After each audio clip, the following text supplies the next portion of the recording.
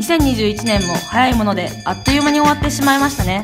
そこで今回ピンクスダイアリーでは今年最も活躍したプレイヤーを決めようではないかとの呼びかけに23日ほど LINE メッセージを既読無視しようやく返信があったたった5人のプレイヤーさんたちに集結していただきました。各自様々な出来事があった2021年だと思いますが果たして誰が目の前の最優秀トロフィーを手にするのか。いざ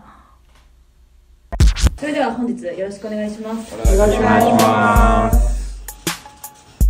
はい。はい。ですはい。俺はもうやっぱりリン。一択。MFS 一択っすね。うん。あのマイセルフっていう PV でもすごい自然的な笑顔をしてて。でもところどころも可愛い動作で、まあ、服装もほんまにおしゃれやし、まあ、どこ撮ってもやっぱ花があるなと思うし。可愛いですねだからリン一択っす以上っす。はい。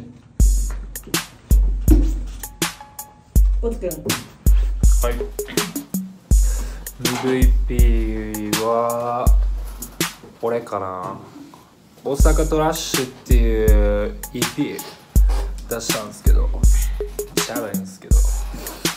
でその時も撮影でジョインスのみんなに来てもらってその時はほんまにありがとうございました。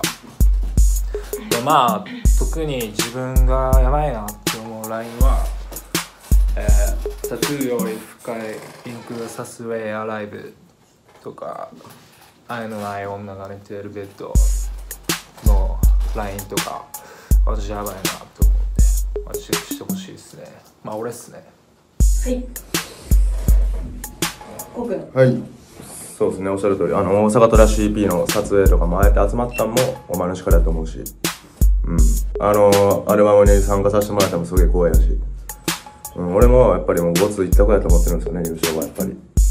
ほんまにありがとうなと思ってる、Yeah. うん、2021のお前がチャンプや。お前はかおる俺はやっぱ MVP あげるのはやっぱ吉高しかおらんかなと思ってて。で、まあ理由なんですけど今年今年とか関係ないんからもうスタイル？もう吉高の。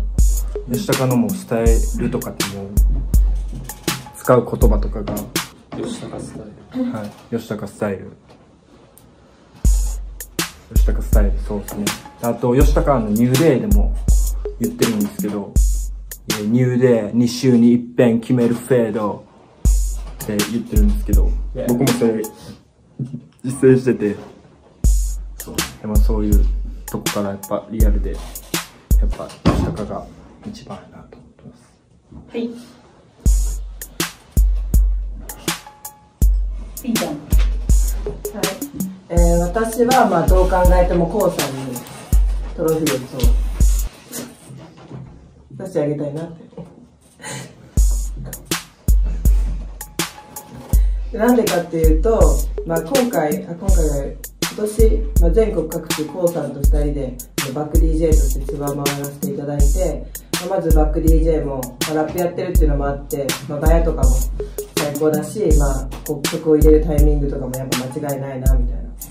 で、まあ、何よりもありがたいのが、まあ、毎回私、まあ、地方で酒飲んでベロベロになっちゃって、まあ、自分の物販とかも全部、まあ、コウさんが持って帰ってきてくれたりとかあの携帯をあの毎回なくしてるんですけどコウさんが探してくれて、まあ、そういう流れが何回もあってやっぱコウさんなしで私生きられないなって本当に心から思うんで、うん、コウさんにあげたいと思います。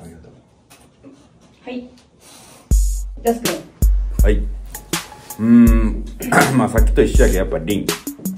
うん。なんかみんなエピソード薄いけど、うん。ぱリンは濃いし、その、うん。2週に1回俺フェード変えてるけど、まあ、リンは普通にネイルとか変えてるし、うん。なんか美意識もやっぱその、美ガールとしてのかっこいいところとか全部出てると思うから、俺はやっぱリンかな。美意識の B だどういうこと？いや、いいよ、いいよ。ありがとう。ビューティーの B まあ、そうやな。はいそこまで。まだまだ皆さん意見はあるようですがここで終了させていただきます。そそれでは2021年ピンクスダイアリー最優秀プレイヤーを発表したいと思います、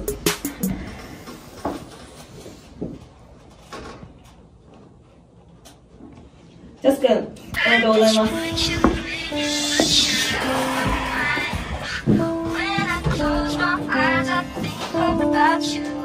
す